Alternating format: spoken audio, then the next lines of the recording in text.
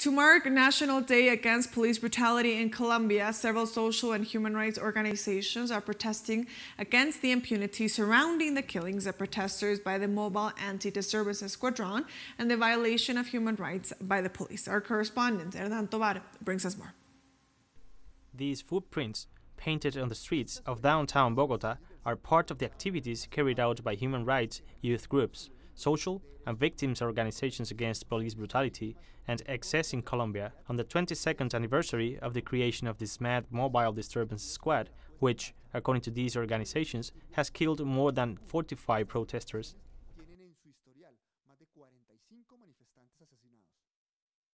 We consider that this is a criminal apparatus. They are murderers. They have done it systematically, and the only solution neither their training nor their reform, but their elimination. We are also requesting a substantial reform of the police that also includes, of course, training in human rights. Also, all crimes committed by the police are not judged by the military criminal justice system, but they are judged by the civil justice system.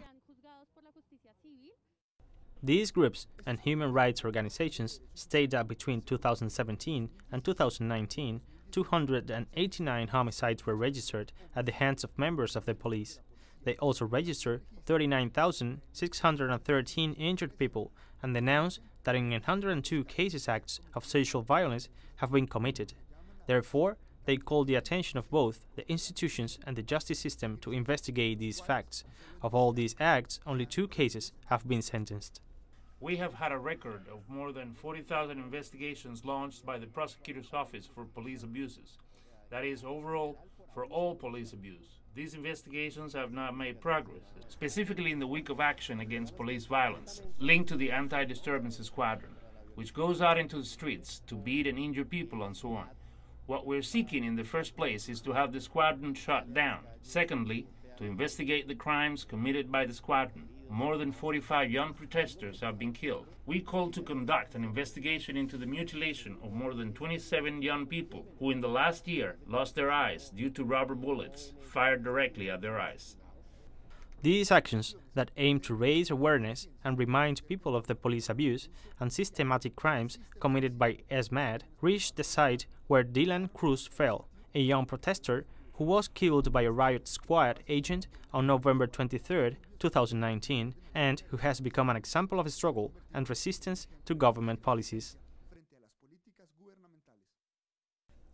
Dylan was killed for participating in a march in which he was demanding the right to free and quality public higher education. But in Colombia, asking for the right to education, for the right to work, asking for the right to health, for the possibility to peaceful protest, calling not to repress people who denounce human rights violations. This has become a risky task, and we are not fully aware of all the people who have been killed.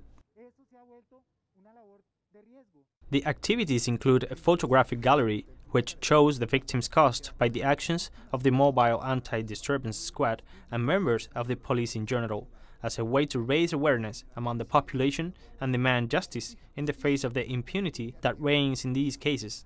Hernán Darío Tovar, Telesur, Bogotá.